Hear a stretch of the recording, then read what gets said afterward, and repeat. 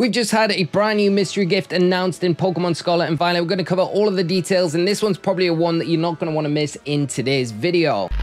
So off the back of the latest Nintendo Direct, we also had the announcement for a brand new mystery gift that'll be dropping and happening right now in Scarlet and Violet. It's giving you 10 nuggets, 10 rare candies, and more importantly, one friend ball, one of the special apricorn balls that are very difficult and rare to find in the game. So to access this mystery gift and get this in your game, come to your Poke Portal, make sure that you are connected to the internet, and then when you are, come down to your mystery gift, and then come to get with code or password.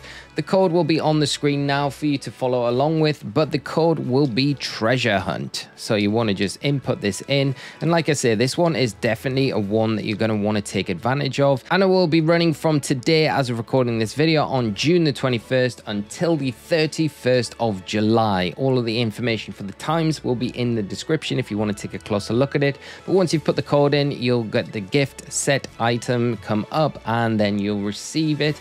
As I say, you'll get 10 nuggets, which is quite good. So that's about 50,000 Poké Dollars. I think they sell for like 5,000 each. Then ten rare candies, which are always going to be useful to have. And then more importantly, that special apricorn ball, which is the friend ball, which is only really accessible through getting the Ace Academia tournament, getting very lucky, 0.1% chance of it dropping there or in the auction house as well, which can be a little bit grindy. So there we go. Once you've got your items, you'll be able to come into your bag. We'll not be able to see the rare candies or anything like that. But the nice thing that you will be able to see is the friend ball. And that puts me up to two with my friend balls, which you'll be able to use preferably in Tera raids and things like that. So uh, definitely take advantage of this while this event is happening. And let me know down in the comment section below what you are planning to use your friend ball on to catch in the games. We'll be keeping it for the DLCs for maybe one of the returning Pokemon that we've just seen featured in that Nintendo Direct with the Scarlet and Violet DLC trailers.